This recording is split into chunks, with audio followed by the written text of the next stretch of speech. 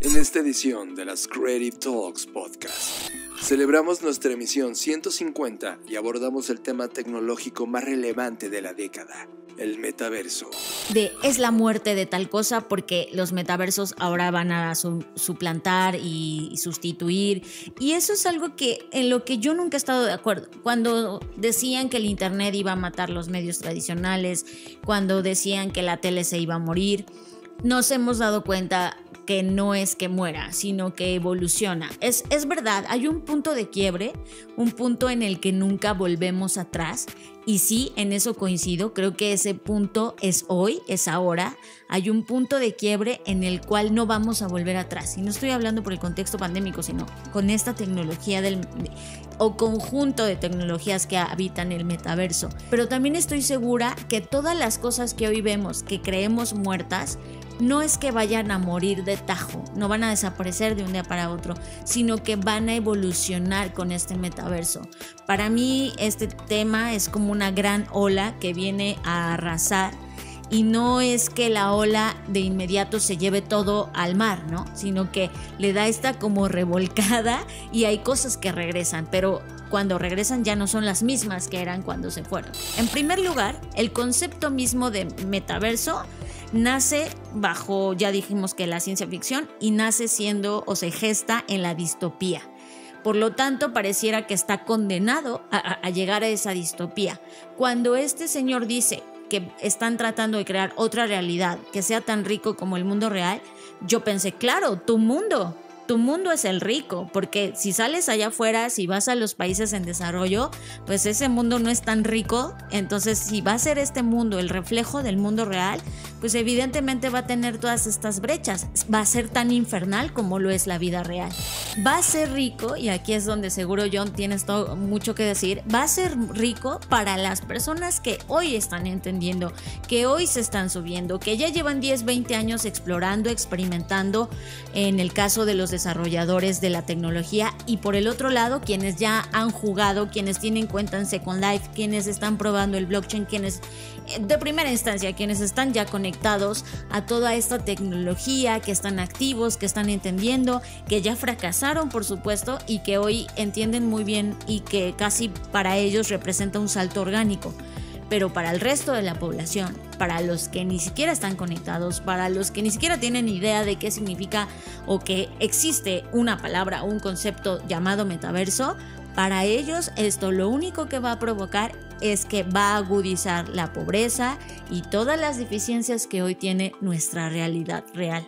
Y justo esta parte que mencionas de la interconexión, en donde no solo sea el mismo lenguaje, hablando de que no hay un solo lenguaje en este momento, no es como bien dices como Internet, que ya tiene un protocolo generalizado y homologado, no hay homólogo. Eso, falta esta, eh, este tema de homogeneidad en esto para que pueda intercomunicarse y entonces entonces sí poder estallar. En ese momento creo que cuando eso ocurra, entonces sí se podría llegar a, pues esta, esta como, como si una bomba estallara y se derramara, eh, porque entonces no solamente sería más accesible, sino más fácil de entender para las personas.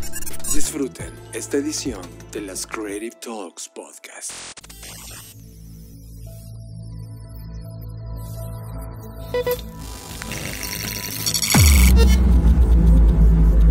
Black Creative Intelligence presenta. Escuchas. Escuchas. Escuchas un podcast de Dixo. Escuchas Creative Talks. Creative Talks. El podcast donde hablamos de creatividad, futuro, innovación, medios, disrupción y emprendimiento. Con Fernanda Rocha y John Black. Por Dixo. La productora de podcast más importante de habla hispana. Por Dixo. Hola, ¿qué tal? ¿Cómo estás? Bienvenido, bienvenida a este podcast llamado Creative Talks Podcast. El podcast donde hablamos, sí, de creatividad, de innovación, de negocios, de diseño y de futuros. Esta vez, como cada semana, me acompaña John Black. John, bienvenido, ¿cómo estás? Fernanda Rocha, ¿cómo estás? Muy bien de este lado y gracias por acompañarnos. Sí, tú que estás escuchando este podcast. Porque además, Fernanda Rocha, hoy cumplimos 150 ediciones de las Creative Talks Podcast. ¿Cómo te sientes? 150 episodios. Al menos de entrada significa 150 semanas que hemos hecho esto, lo cual en términos de disciplina estoy pues muy contenta de lograrlo y de sobre todo emocionada de que ustedes nos hayan acompañado estos 150 episodios. Por otro lado, también me asombra lo rápido que ha pasado el tiempo. Y no solo eso, sino si contamos las semanas más las horas de preproducción, más las horas de postproducción, significa que hemos dejado un fragmento grande de nuestra vida en esto. Y no lo digo a manera de queja, sino a manera de asombro, de cómo cuando Mm, tienes una idea, la platicamos, ¿te acuerdas John esa vez que dijimos, y si hiciéramos un podcast y de repente voilà, y hoy estamos acá? Han pasado tantas cosas en esos episodios, tantas discusiones detrás, armar los temas, platicar, sus mensajes que, que, que a veces nos hacen llegar, que nos dan este aire y nos hacen sentir que hay alguien detrás del micrófono, escuchando sus audífonos en sus autos, haciendo ejercicio, lavando los trastes. Y eh, todas estas historias, dudas, reclamos incluso que hemos recibido de su parte, pues no hacen otra cosa más que darnos esta inspiración para poder seguir con este proyecto que a nosotros nos hace muy felices, pero nos importa también que ustedes estén contentos con todo lo que han escuchado acá y se ha convertido como en parte de nuestro estilo de vida, Fer. Y estaba haciendo una eh, selección de cuántas horas en promedio hacemos en cada edición y pasamos entre 20 y 40 horas, dependiendo la complejidad del tema. Entonces, toma el punto medio, 30 horas. Ese es el 30, las 30 horas que por episodio estamos dedicando. Eh, hemos invertido 4.500 horas de nuestras vidas por dos, porque somos dos personas, más el tiempo de diseño que tiene Dan de crear el arte gráfico de cada cosa. Es increíble, pero también te puedo decir que esas 4.500 horas compartidas, porque ha sido una inversión compartida entre tú que estás escuchando y nosotros, es una ida y vuelta de ideas, conceptos, críticas, entendimiento preguntas que, están sucediendo en esta línea del tiempo y en la cual pues nos hemos acompañado mutuamente. Y en verdad te quiero agradecer y por supuesto Fer, gracias ah, por, por esto y toda la gente que ha estado con nosotros, las entrevistas, las productoras, Dixo, etcétera, todas las personas relacionadas a las Creative Talks Podcast. Tema de la semana. Este es el tema que nos robó totalmente la atención. Tema de la semana. Y qué mejor forma de celebrar el podcast que hablando de un tema que es un temazo. Es un temazo no solo porque es muy amplio, sino por todo lo que podría significar y todas las posibilidades y futuros plausibles que trae consigo. Y, y, además porque John le dedicaste también muchas horas a este artículo que creaste para la Black Creative Intelligence sobre metaversos. Pero bueno, vamos a comenzar como dicen, por el principio. Para las personas que no estén familiarizadas con esto, que no lo hayan escuchado mencionar en otros episodios porque apenas llegaron o porque no han escuchado los otros episodios, bueno, vamos a comenzar definiendo qué es metaverso solo para sentar las bases de todo lo que vamos a platicar el día de hoy. El término metaverso o metauniverso, como también se conoce, tiene su origen en la ciencia ficción. Así es, en una novela de Snow Crash que se publicó en 1992 por Neil Stephenson. Y actualmente pues este concepto de metaverso no solamente se ha ampliado y moldeado y transformado, sino que hoy representa mucho más de lo que en su momento representó en esta novela de ciencia ficción.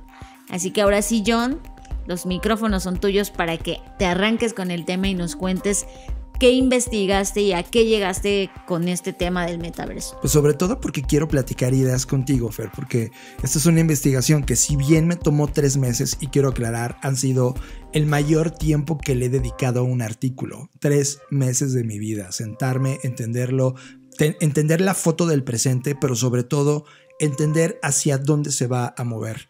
Y eso me conectó, esos tres meses de mi vida me conectaron a más de 20 años de mi vida. O sea, he estado metido desde el inicio del planteamiento intelectual de la sociedad red o desde cuando Marshall McLuhan a finales de los 50 del siglo pasado hablaba sobre el nacimiento de esta aldea global que finalmente se traduce en lo que se va a convertir los metaversos.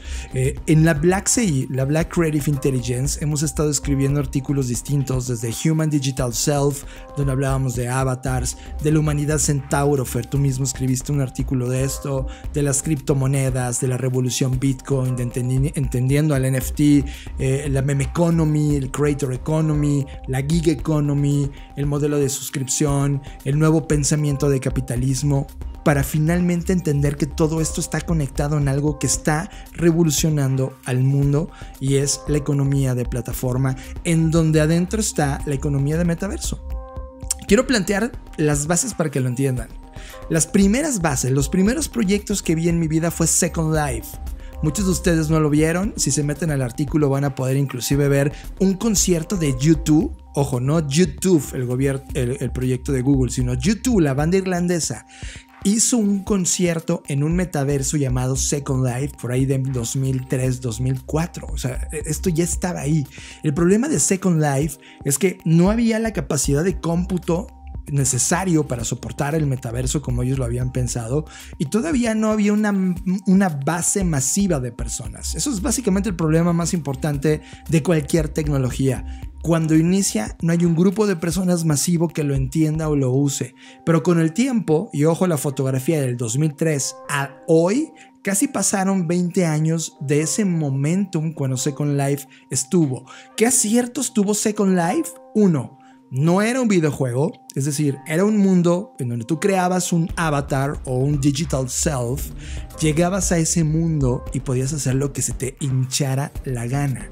No había misiones, no había retas, no había batallas royales, simplemente era un mundo para duplicar un Second Life del mundo real. Y adentro de ese lugar llegaron marcas, llegaron artistas, llegaron personas, diseñadores, arquitectos, músicos, todo tipo de personas que empezaron a poblar esa tierra digital y crearon una economía que se llama Linden. Las Lindens son la moneda que había dentro de Second Life y por lo tanto tú podías transaccionar y ganar dinero. Hoy esa moneda sigue viva. De hecho, un Linden equivale hoy a 320 dólares norteamericanos. Esa es, la, equidad que hoy hay en esa moneda. Pongan en la mesa lo que estoy poniendo. Mundos virtuales, avatars, una moneda, un gobierno eh, abierto respecto a lo que podías hacer dentro de ese lugar y evidentemente empezaron a suceder cosas.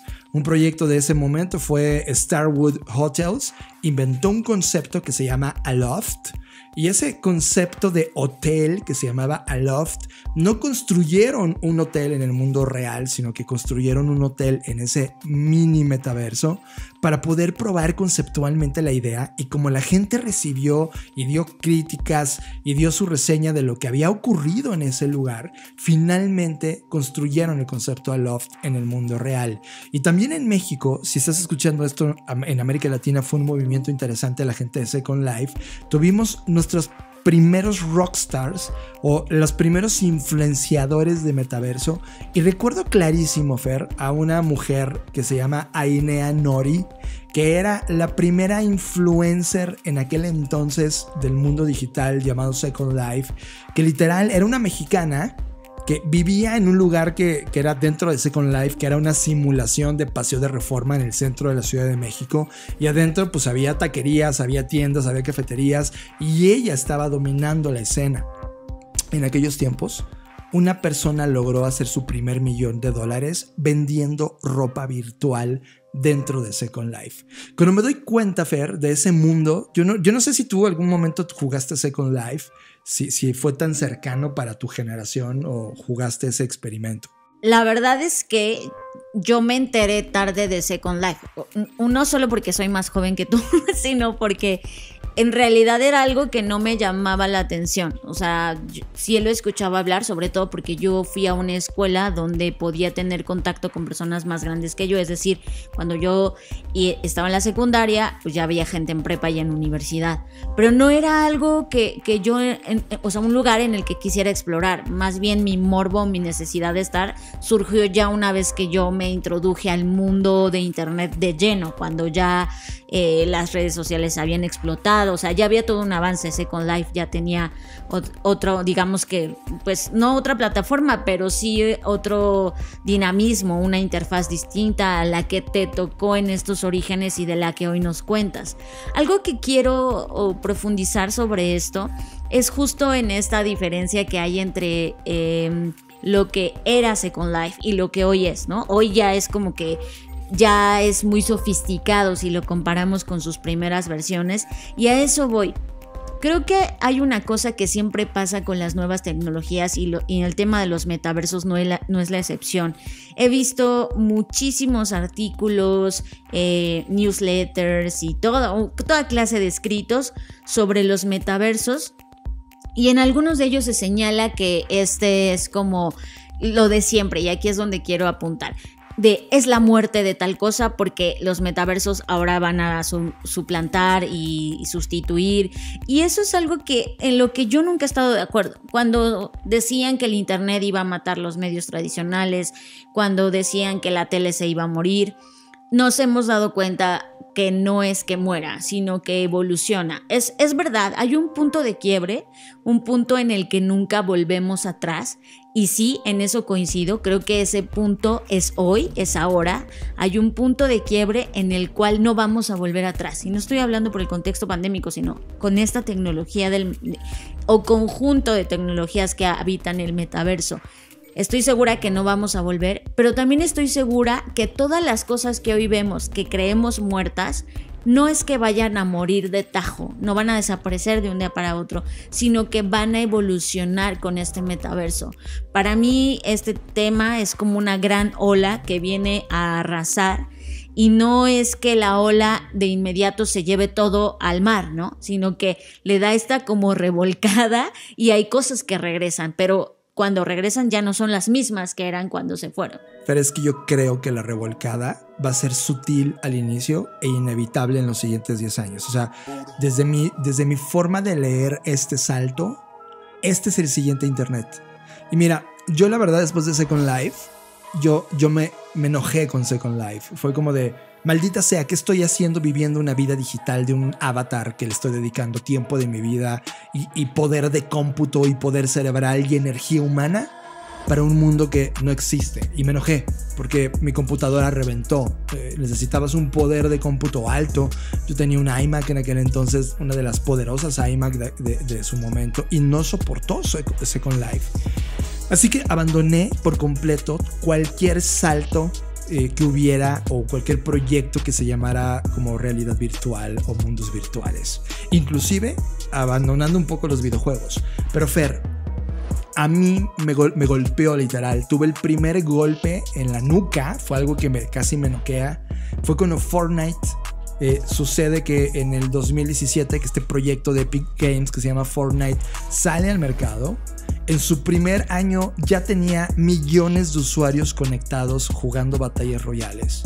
Y algo que a mí en verdad me dolió y lo sentí como una revolución fue ese momento cuando Epic Games, la compañía dueña de Fortnite, señala con el dedo a Apple diciéndole, oigan, sus políticas dentro de la eh, tienda que tienen de Apple para la gente que desarrolla apps son de las políticas más abusivas de la historia de la tecnología.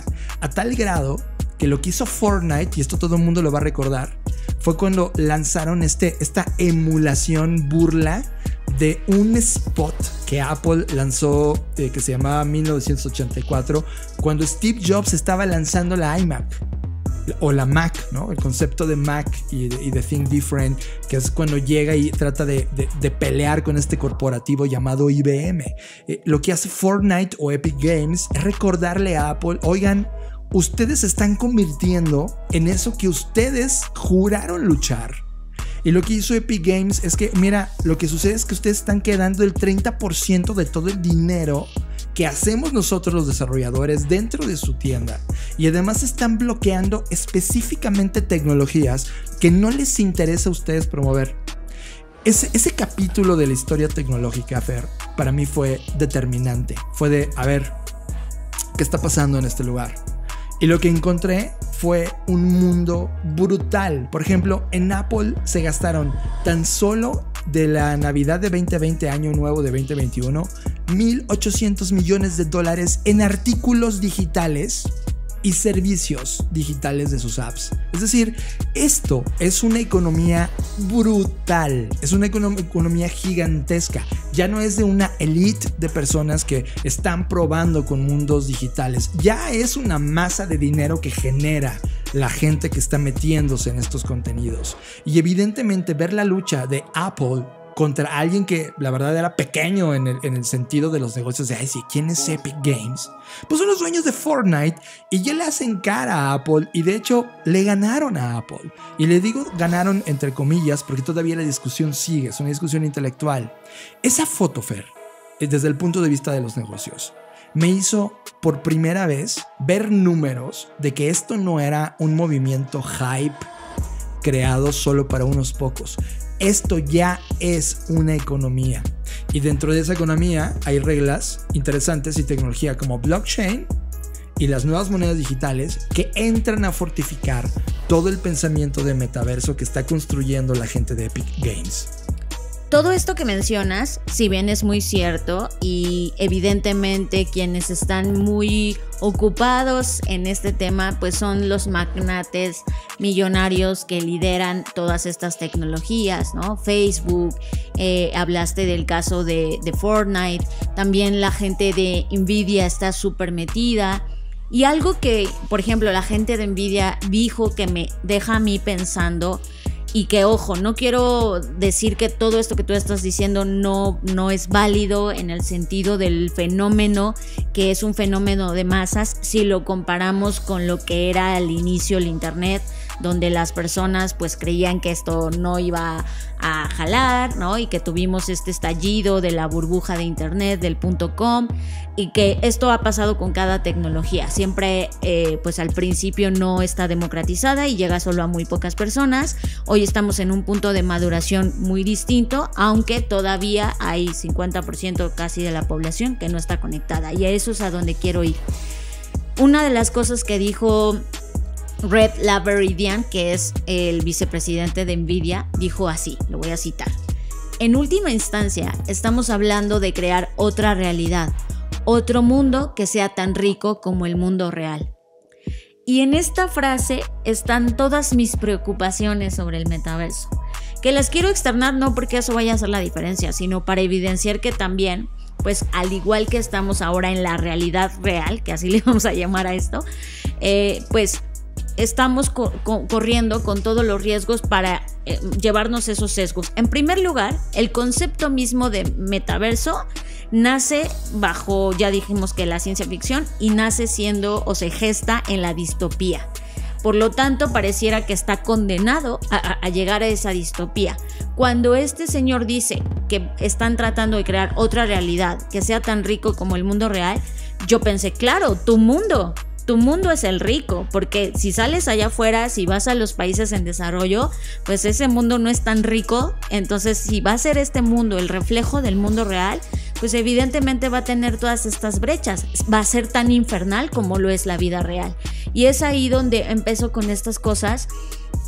Eh, de, esta concesión que se me hace magnánima en realidad. O sea, esta, esta idea de decir tan rico como el mundo real es no, va a ser rico, y aquí es donde seguro John tienes todo, mucho que decir, va a ser rico para las personas que hoy están entendiendo, que hoy se están subiendo, que ya llevan 10, 20 años explorando, experimentando, en el caso de los desarrolladores de la tecnología, y por el otro lado, quienes ya han jugado, quienes tienen cuenta en Second Life, quienes están probando el blockchain, quienes, eh, de primera instancia, quienes están ya conectados a toda esta tecnología, que están activos, que están entendiendo, que ya fracasaron por supuesto, y que hoy entienden muy bien y que casi para ellos representa un salto orgánico. pero para el resto de la población, para los que ni siquiera están conectados, para los que ni siquiera tienen idea de qué significa o que existe una palabra o un concepto llamado metaverso, para ellos esto lo único que va a provocar es que va a agudizar la pobreza y todas las deficiencias que hoy tiene nuestra realidad real. Yo coincido y te lo digo así brutalmente, 100% coincido.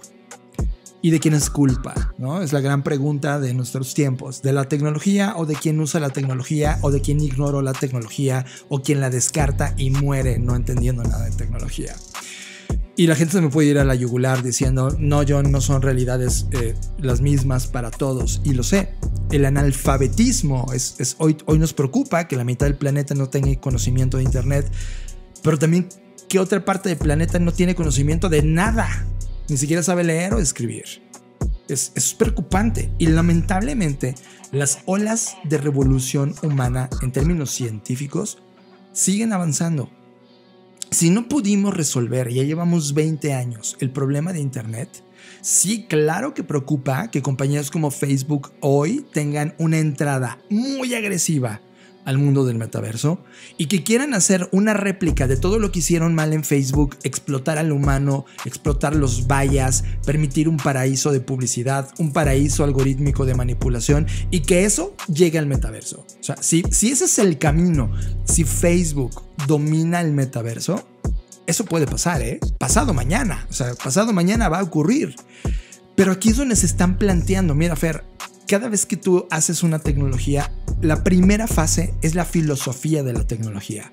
Cuando Tim Berners-Lee creó el protocolo de lo que hoy conocemos por Internet, él tenía una filosofía de Internet. El problema es que cuando se democratiza, cuando llega todo mundo a explotar esa idea, le vale la filosofía y ellos solo quieren capitalismo puro. Es como, a ver, ¿cómo exploto esto? ¿Cómo me hago millonario? ¿Cómo me hago un unicornio? El metaverso, Fer, es como si estuviéramos hablando de nuevo de Internet. Es como hay una nueva oportunidad de construir un mundo adentro de un mundo físico y lamentablemente te lo digo, el mundo físico se está convirtiendo en una pesadilla en todas partes del planeta, ya sea por temas ambientales. Hoy acabo de leer un artículo que te lo platiqué por la mañana sobre el siguiente estallido de las, de las bacterias. Las bacterias a lo largo de la historia del planeta han atravesado varios momentos y cuando han tenido un crecimiento masivo, viene el 90% de la muerte de vida del planeta. ¿Y qué creen? El planeta Tierra está entrando una vez más en esa fase. Cierro capítulo.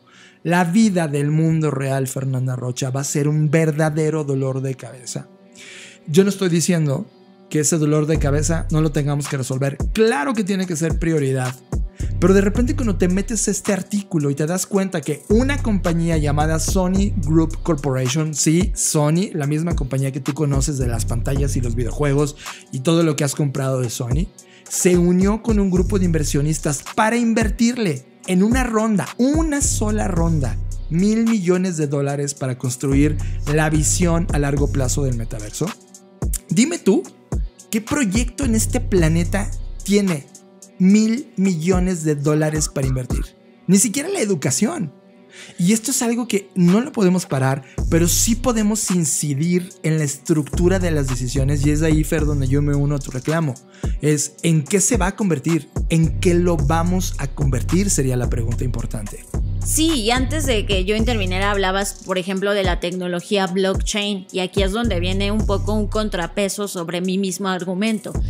Eh, hay proyectos, afortunadamente, porque eso nos dan esperanza en que esto se puede convertir también en un área de oportunidad para todas esas personas que hoy en la realidad sufren ya de por sí discriminación, este, pobreza, etc. Bueno, me enteré de un caso que quiero compartir con ustedes.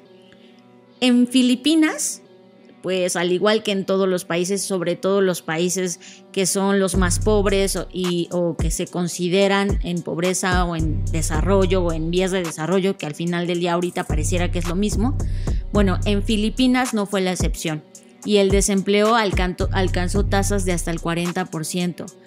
Esto evidentemente en comparación con lo que ha pasado en la historia, por ejemplo en Estados Unidos cuando fue la Gran Depresión, el desempleo alcanzó el 25%. O sea, ni siquiera fue tan grave como lo que estaba pasando en Filipinas.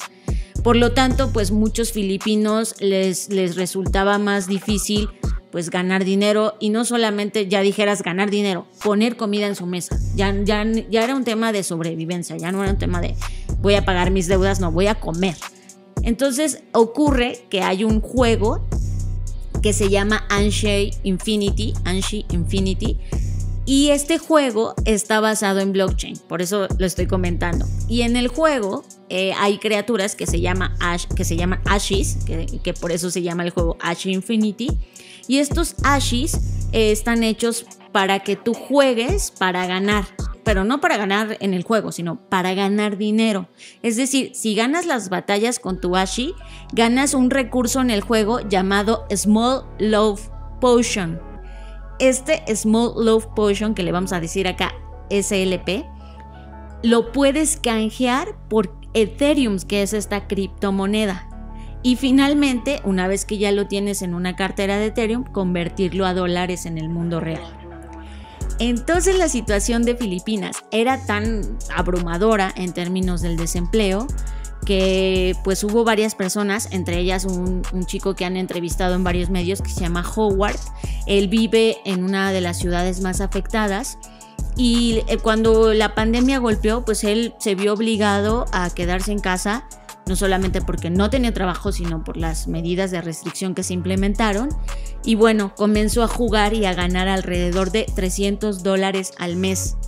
Para, para que tengamos todos referencia, su, el salario mínimo en Filipinas es de aproximadamente 100, 100 dólares al mes. Y él estaba ganando 300 dólares al mes jugando este jueguito de Ash Infinity. Lo, más interesante y lo que me da esperanza no es que la sociedad se vuelva ahí jugadora convulsiva, sino que fue tanto su éxito que comenzó a entrenar a otras personas en su localidad y enseñarles cómo jugar para que pudieran ganar dinero, a tal grado que hasta personas de arriba de 60 años comenzaron a entrarle al juego y empezaron todos a jugar y a ganar dinero para la comunidad, ya no era un tema individual, ya era en comunidad. Ahora, déjenme les cuento lo que sigue, ya con esto John te dejo que, que des tu opinión.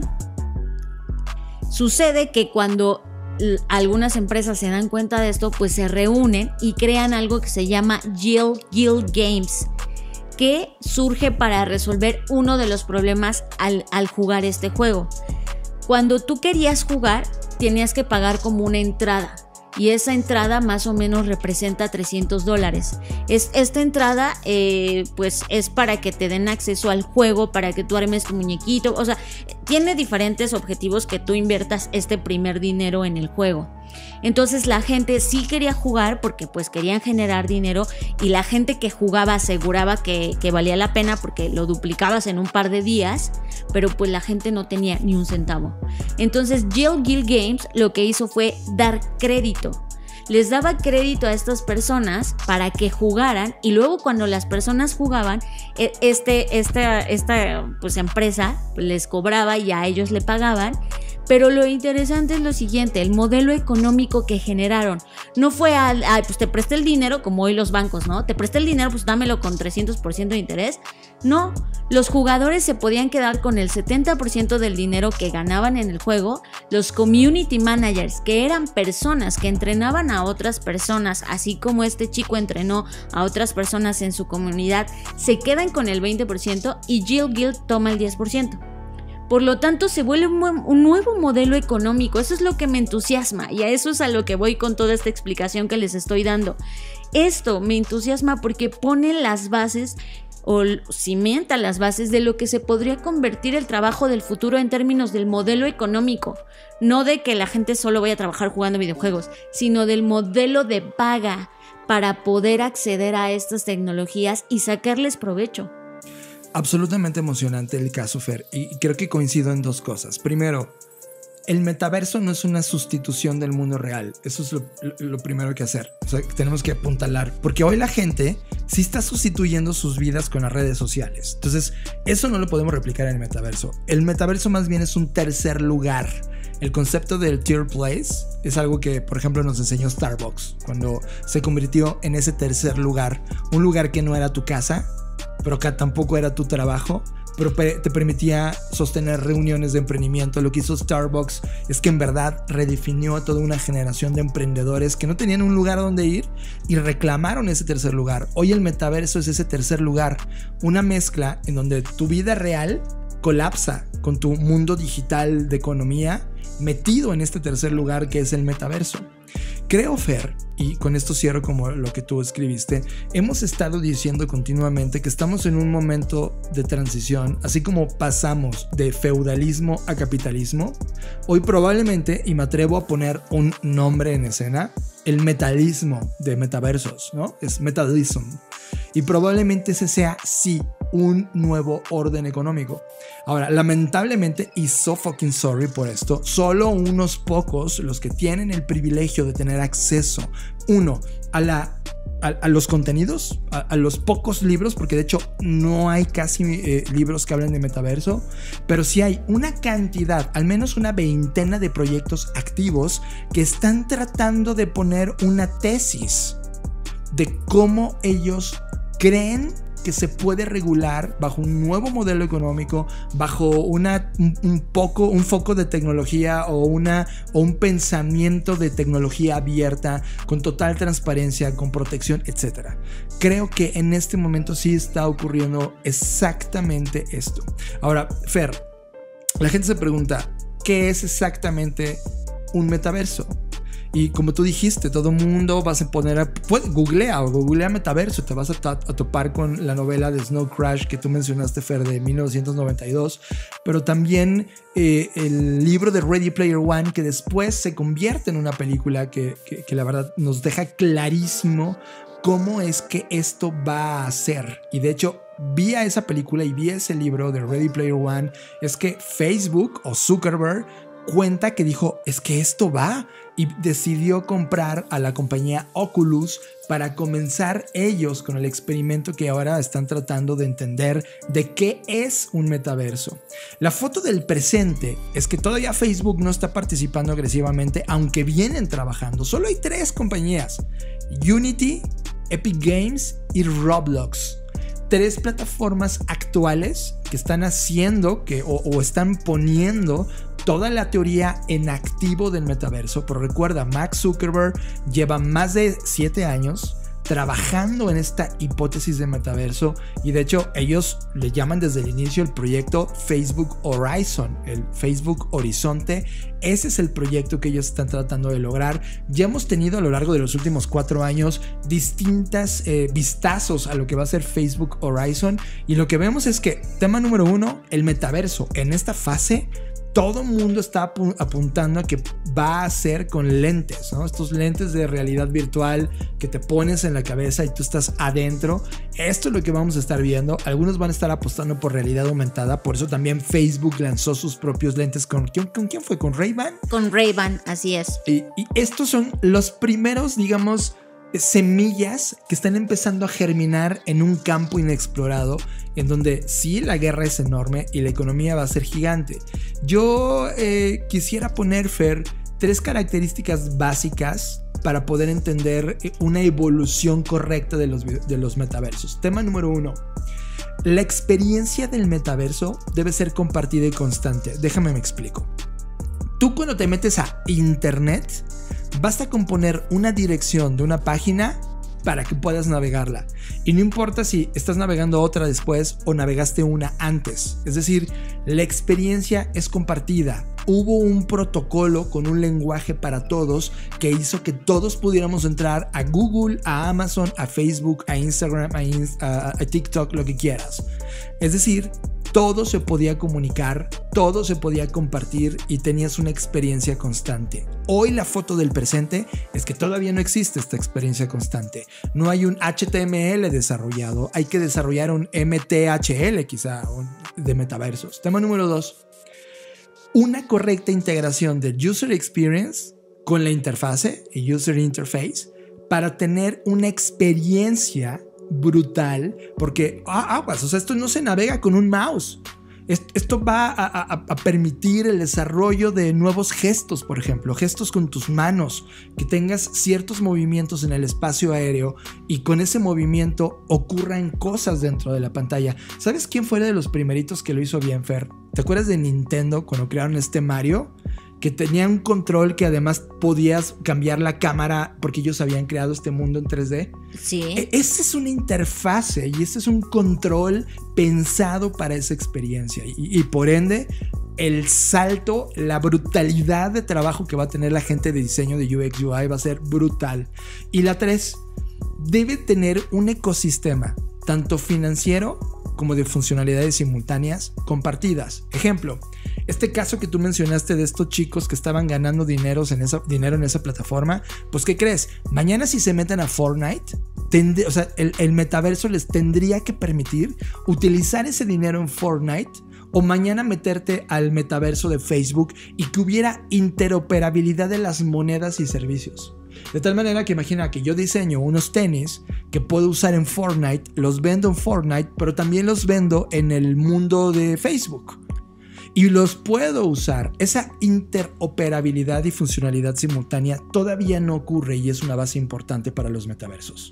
Sí, justo creo que esto que estás mencionando, más que ser una cosa descriptiva, sería más bien los tres pilares indispensables para que entonces esto sí termine de estallar.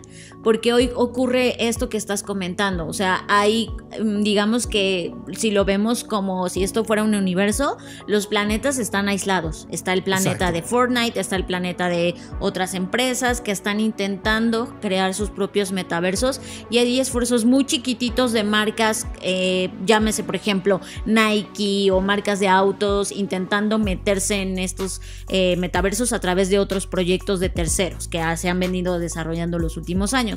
Y justo esta parte que mencionas de la interconexión, en donde no solo sea el mismo lenguaje, hablando de que no hay un solo lenguaje en este momento, no es como bien dices, como Internet, que ya tiene un protocolo generalizado y homologado, no hay homolo eso, falta esta, eh, este tema de homogeneidad en esto para que pueda intercomunicarse y entonces sí poder estallar. En ese momento creo que cuando eso ocurra, entonces sí se podría llegar a, pues esta, esta como, como si una bomba estallara y se derramara, eh, porque entonces no solamente sería más accesible, sino más fácil de entender para las personas. Totalmente de acuerdo. Y ojo, hasta este punto del metaverso hemos estado hablando de tecnología.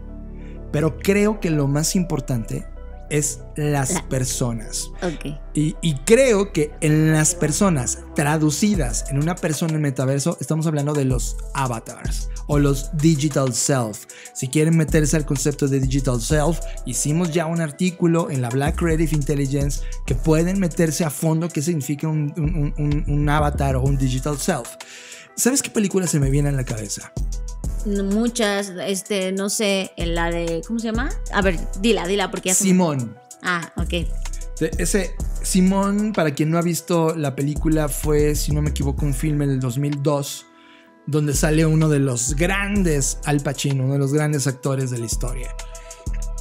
Lo que marca el filme es un director de cine que le está yendo muy mal, es decir, las historias que está contando, pues la verdad, fueron buenas y ya dejó de ser un, director cool. Y se da cuenta que puede utilizar tecnología que crea avatars y por lo tanto crea un personaje avatarizado llamado Simón, que realmente lo que hace Al Pacino en, el papel de, de, director es que él actúa dentro de esta computadora, pero lo que ve la gente es a esta actriz creada de manera artificial. O sea, en pocas palabras, porque siento que quien no la ha visto va a decir, ¿qué, qué, qué? Es como si se pusiera un disfraz digital. Ajá, un avatar. Por eso quería poner ese tema. Pero ojo, la foto de esa película es el 2002, hace 20 años. Hoy, Fer, tú y yo, todos los que escuchen este podcast, necesitamos entender cuanto antes. O sea, es como de, ok, ¿quién eres tú? Es una pregunta filosófica importante, definirte a ti. Pues, ¿qué crees? Ahora traes un reto gigantesco igual de grande. ¿Quién vas a ser en ese mundo de metaverso? Es decir, así como hay una definición de tu yo, ah, yo me llamo John Black y tengo tantos años y pienso tales cosas, ahora ese John Black, ¿cómo va a ser en ese mundo de metaverso? Y aquí quiero solo poner dos ejemplos. Uno de ellos lo hablamos en el podcast pasado. Eh, y bueno, tiene que ver con esta avatarización, pero justamente creo que lo más importante es la pregunta que hace John. Voy a poner otro ejemplo sobre una noticia que me encontré apenas hoy en la mañana sobre voces deepfake que estaban pensadas para que tú en el videojuego, no en el metaverso todavía, pero en un videojuego que al final del día un videojuego es un metaverso, pues pudieras cambiar tu tono de voz. Es decir, que si querías sonar fuerte, pues sonaras grave. Si querías sonar como divertido, sonaras más agudo. Podrías modular y tener un nuevo tono de voz. De hecho, la plataforma o esta tecnología o esta, no, no tecnología, más bien esta empresa se llama Modulate.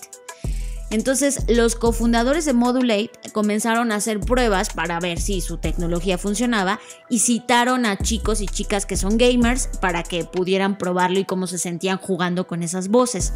Pues en esa investigación resultó que más de 100 personas le preguntaron a estos creadores si la tecnología podría ayudarlos con la disforia que hay entre el desajuste de su voz y las identidades de género que representan. Y esto fue para mí como, claro, o sea, si hoy yo estoy transicionando o simplemente no me reconozco eh, con esta voz porque me gustaría o lo que mi género representa es tener una voz más, póngale ahí los adjetivos que ustedes quieran, pues con esto lo podría hacer.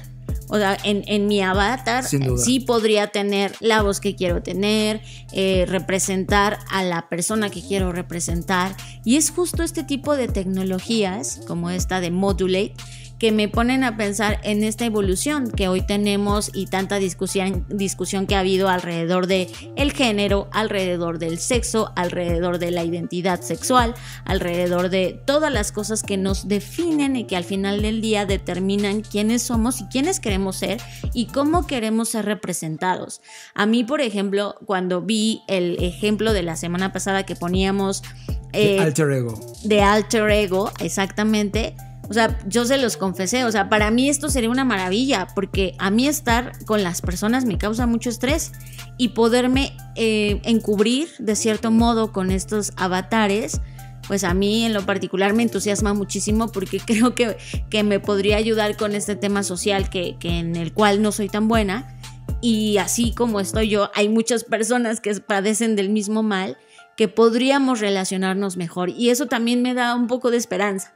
Y, Fer, esta, esta, esperanza es buena mientras los humanos están en control creativo, que esa es el, la razón por la cual creamos este podcast llamado Creative Talks. No les dice nada, es porque estábamos pensando que la herramienta creativa humana, la capacidad de crear y resolver, iba a ser la habilidad más importante de esta década. Y lo está haciendo.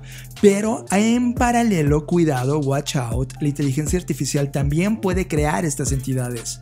Ya lo hace con los videojuegos. De hecho, estos Idorus, que como concepto hemos hablado en varias ocasiones en este podcast, pues ahora están encontrando el mercado natural para que tú, dentro de un mundo de metaverso, no sepas si estás hablando con un humano o con una entidad artificial con inteligencia artificial. Y eso puede cambiar. Esa es una nueva industria de la influencia, Fer. Algo, ya habíamos visto en algún capítulo de Black Mirror, ¿te acuerdas? De Waldo Moment. Claro que, traían como a alguien que influenciaba y cuestionaba en una campaña política y se convertía en uno de los actores más importantes de influencia en esa elección, pues esto va a suceder ocurriendo. Ahora, ¿cómo están apostando las corporaciones del día de hoy? Solo desde un extremo en este momento, solo desde uno, y me enoja, desde el punto de vista de marketing. Es decir, hemos visto cómo están llegando distintas marcas a crear NFTs, propiedades digitales, algunos momentos dentro del juego totalmente patrocinados por marcas. Pero aquí la pregunta, o sea, aquí el, tema que seguramente está en la cabeza de, todos en este momento es, ok, ok, ya vi, John, suena espectacular, suena increíblemente complejo. ¿Qué pondrías de tarea para comenzar a entender? Tema número uno, lee todo lo que tengas que leer de metaverso. Si puedes leer el artículo de Entendiendo el Metaverso en la Black CI, por favor métete y léelo. Te voy a ahorrar una cantidad de tiempo porque sintetizo todo y te dejo las ligas por conectar. Tema número 2.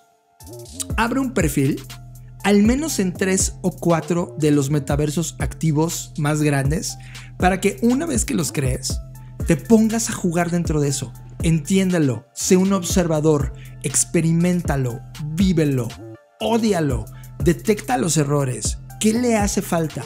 Todas esas preguntas, los errores, qué hace falta, cómo lo hace mejor, esas son las preguntas que van a enriquecer al metaverso y te van a dar trabajo creativo como nueva industria para poder entrar en ese lugar. Porque está siendo creada en este momento, está siendo concebida en este momento.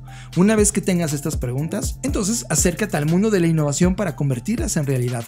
Y no necesariamente tiene que ver únicamente con tecnología, sino todo lo demás en donde la tecnología te ayuda a hacerlo parte. Y ese es un tema que a mí me emociona muchísimo porque vuelve a recaer en las manos de los seres humanos el a dónde queremos mover ese mundo virtual, en ese metaverso que se va a convertir en una fabulosa economía. Sí, porque justo, por ejemplo, ahorita que decías de marketing y todo esto, hay una autora que se llama Wendy Liu. Ella escribió, o sea, para que vean cómo, cómo piensa, un libro que se llama Abolish Silicon Valley. Ya, ya, sabrán su postura un poco, ¿no? Sí. Ella recientemente le preguntaron, y entre broma y no, eh, le preguntaban, ¿qué, oye, para ti qué es el metaverso? Y, qué? y ella simplemente dijo, una realidad virtual con anuncios que no se podrán omitir. Qué asqueroso mundo si, si, eso ocurre, ¿no? Ese es el mundo de Facebook que va a ocurrir si gana su punto de vista de los metaversos. Ahora, económicamente hablando, Fer, porque eso sí, evidentemente hay una economía dentro. Es una economía de creador. Eso es lo primero que tienes que aprender. Que no sabes una economía de creador, vuelve a leer en la Black Sea el artículo sobre economía de creador o googlealo. Tú atraviesa tu propio momento de experimentación de contenidos y, y, ve lo importante y lo relevante que son los creadores. Y no me refiero solamente a los artistas visuales o sonoros, sino cualquier tipo de creador. En síntesis, Fer, hice un punto de vista de qué, va a pasar con la economía y por ejemplo, va a haber una oportunidad muy grande de experiencias sociales. El metaverso nos va a, permitir esta capacidad de conectar socialmente en otro nivel. Dos, va a haber mucho comercio inmersivo. En serio, desde venta de ropa digital, que ya está ocurriendo, como, como si fueran artículos NFTs eh, pues, pues metidos en un comercio dentro del metaverso. Tres, bienes raíces. Y es como, ¿qué, John? Sí, Estamos viendo proyectos como el de R2, la Tierra 2, que se está vendiendo una réplica exacta de la Tierra dentro del metaverso. Y así como compras un terreno en el mundo real, ahora puedes comprar un terreno en este metaverso que creo que es ahí también una línea que el metaverso tendría que cuidar, John. Entiendo y no quiero que me malinterpreten. A mí me encanta comprar cosas, yo no estoy diciendo que comprar sea malo, solo que este, este vicio que hoy tenemos en el mundo real de comprar cosas inútiles, podríamos exportarlo a este nuevo metaverso. Y, y hay algo que yo quiero poner en la mesa Debemos tener mucho cuidado con permitir que la lógica del mercado colonice todas las facetas de nuestra experiencia en el metaverso. O sea, que llegue un punto en el que todo lo tengas que comprar, ¿sabes? Como entiendo que hoy está todos estos proyectos de Air2 y varios que existen, pues lo que están haciendo es justo probar estas hipótesis y darse cuenta de los errores de las... Pero mi preocupación es esta, que de repente todo sea bajo la lógica del mercado y que, o sea, y que pues, si no tienes dinero no puedas disfrutar de la experiencia, ¿me entiendes? Entiendo, o sea, yo recuerda, estoy enumerando las posibilidades de cómo se está viendo eh, el cómo hacer dinero dentro del Lo sé, lo sé, pero yo ojo, eh, por ejemplo, voy a poner un proyecto que se me ocurrió ahora mismo. Imagínate que tú y yo nos ponemos de acuerdo con varias personas, compramos el mismo terreno donde está la Torre Eiffel en Francia, solo que ahora dentro de la Torre Eiffel la construimos una vez que compramos en Air 2, construimos de nuevo la Torre Eiffel y hacemos que cada 15 días haya un concierto que le rentamos a todos los músicos del mundo dentro de la Torre Eiffel. Entonces, a eso va, es como a dónde se va a convertir los bienes raíces. También hay proyectos, por ejemplo, del mundo real. Imagínate una inmobiliaria que quiere construir 2.000 casas en un lugar específico. Pues no invierte dinero para construirlos físicamente, primero invierte dinero en construirlos dentro del metaverso, lo cual sale en una fracción de lo del mundo real, para que tú puedas ir a visitar, ver, conocer el espacio, vivir en el espacio si quieres un mes, ¿no? Y decir, sí, me encantó, lo voy a comprar en la vida real. A eso voy, en esa interacción. Recuerda lo que te dije, no es la sustitución, sino cómo se convierte en el tercer lugar. Cuarta categoría, viajes y turismo. Y aquí voy a decir algo muy feo, Fer. Imagínate que en los siguientes 20 años perdemos ciudades por culpa de este problema ambiental. Ya está pasando. Están incendiándose bosques. Inundándose por otro lado. Ajá, eh, quedando bajo el agua. Explotando los volcanes. En verdad, asimílalo. Vas a ver ciudades caer y arder. Vamos a ver a millones de seres humanos desplazados ambientalmente. Ciudades que hoy amas ya no van a existir. Y la única manera de regresar como turismo a esos lugares va a ser a través de estos metaversos.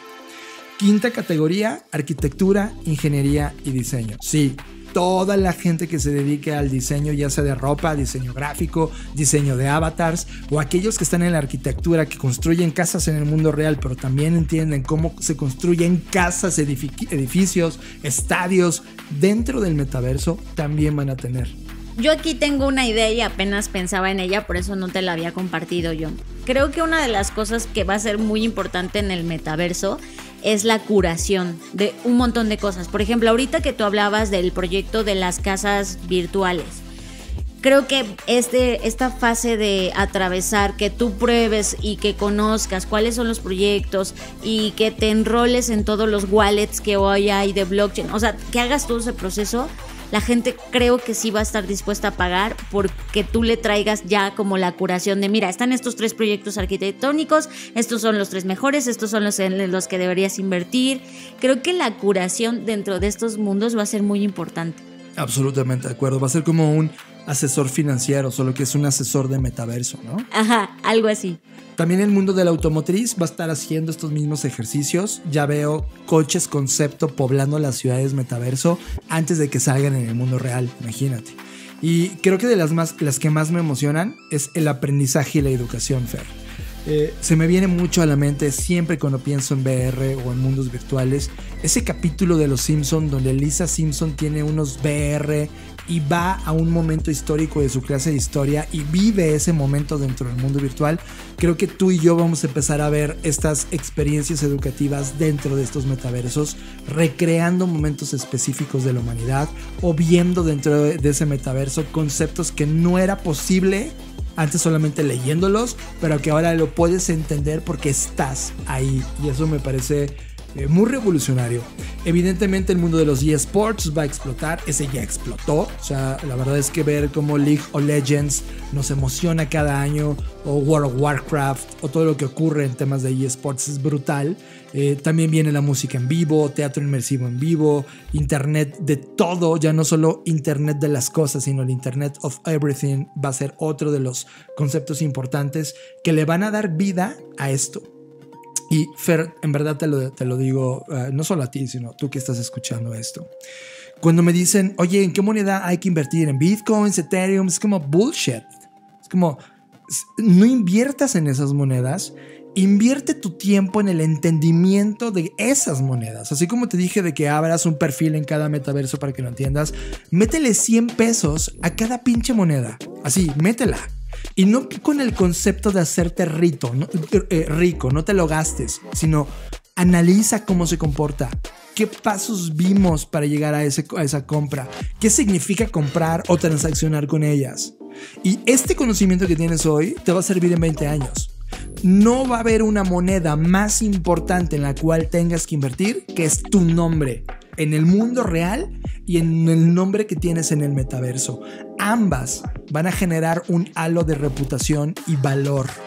Capitaliza ese conocimiento y valor o llena y resuelve los problemas que detectes dentro de ese metaverso para darle valor a tu actividad personal, profesional, artística e inspiración de los siguientes 10 o 20 años. Eso de lo que te estoy hablando ahora y no quiero sonar como, ah, todos crean en Jesucristo. No, es en verdad, estudialo esto se va a convertir en un, en, un paradigma totalmente nuevo que va a redefinir a nuestra sociedad en los siguientes 10, 15 y 20 años. Es, es brutal el concepto de metaverso. John, tocaste un tema muy importante, que no estamos promoviendo que forzosamente hagan una cosa u otra. Esto para mí lo que me da esperanza es que representa un borrón y cuenta nueva en el sentido de, ya sé, no se va a borrar todo lo malo y las cosas que hemos hecho, pero sí representa como un lienzo en blanco, una nueva oportunidad, donde ya hay personas que están escribiendo cosas, donde por supuesto hay personas con mucho poder escribiendo cosas, pero donde hoy tú que te estás enterando también tienes la oportunidad de escribir cosas en ese nuevo mundo.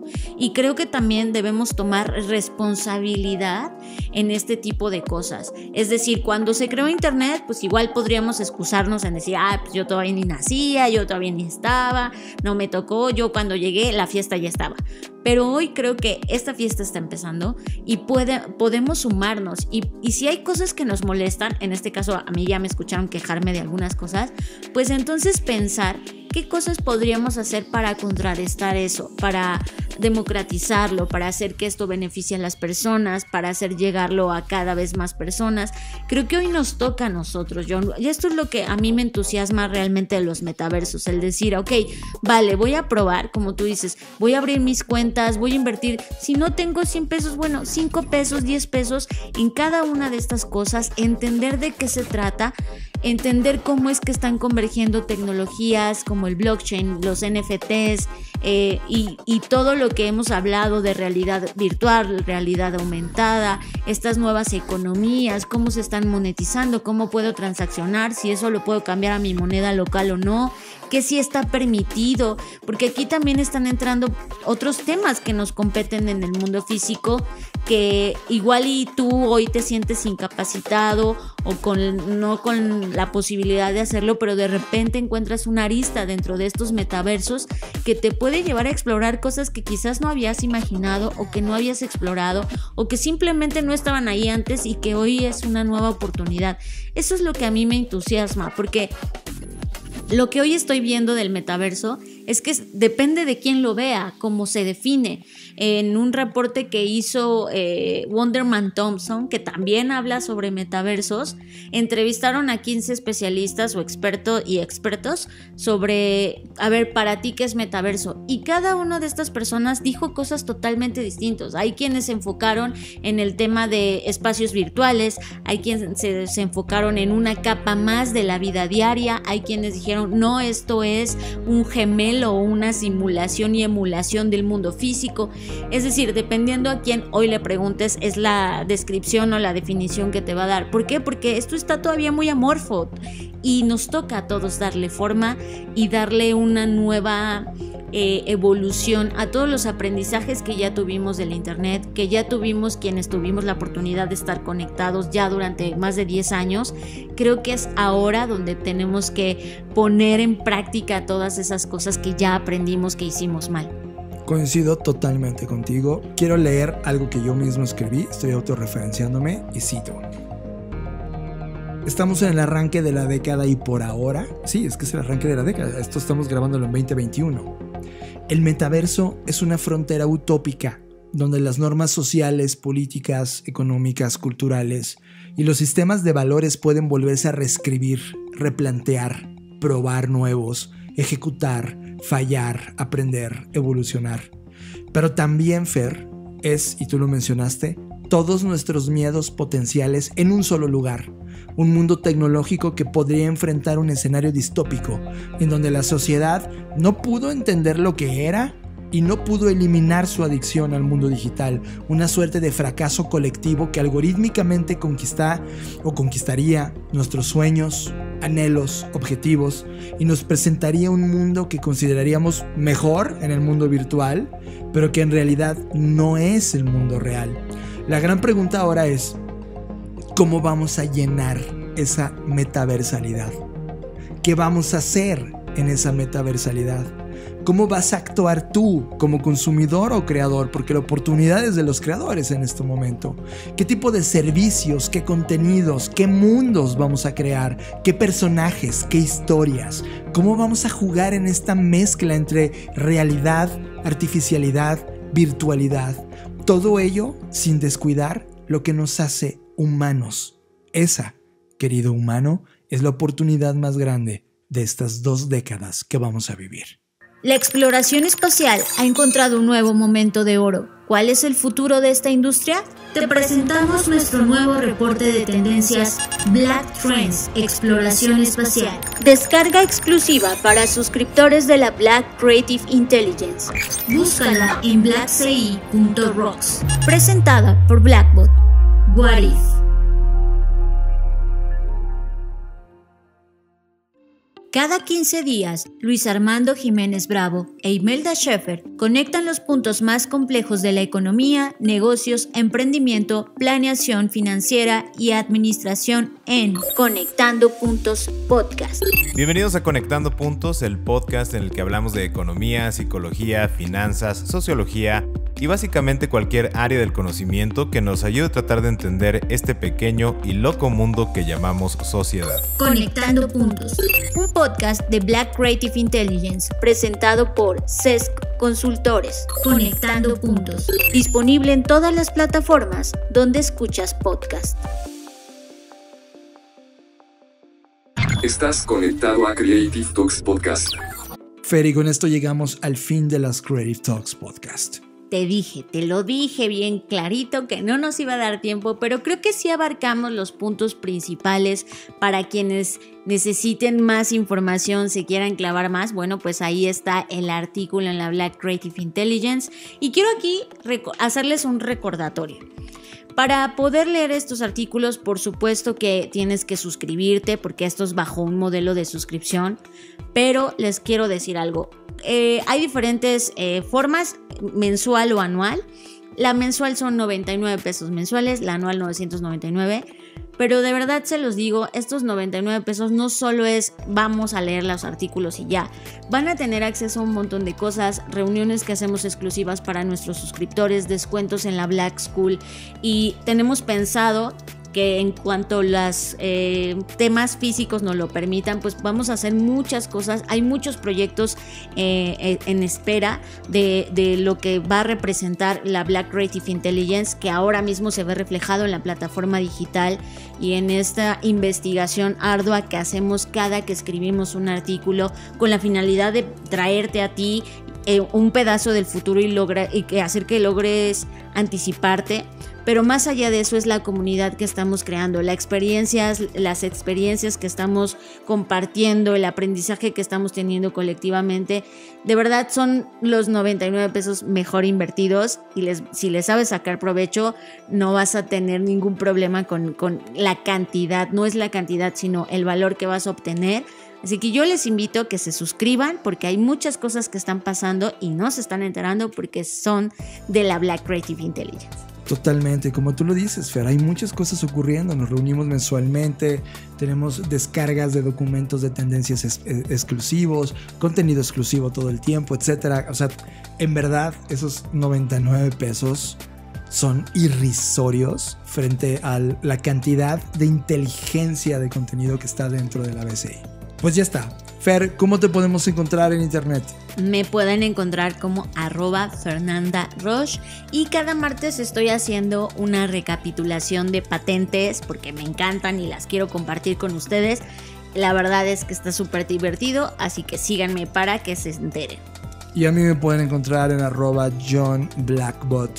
Gracias por estar ahí, gracias por compartir esta línea de tiempo y en verdad es un placer hemos llegado a 150 y esto no ha hecho más que empezar, Fer.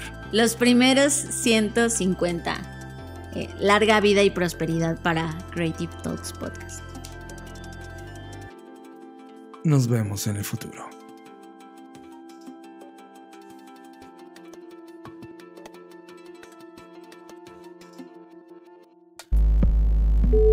Dixo presentó. Dixo presentó. Creative Talks el podcast en donde hablamos de creatividad, innovación, medios, disrupción y emprendimiento. Con Fernanda Rocha y John Black. Por Dixo, la productora de podcast más importante de habla hispana. Nos escuchamos en el futuro.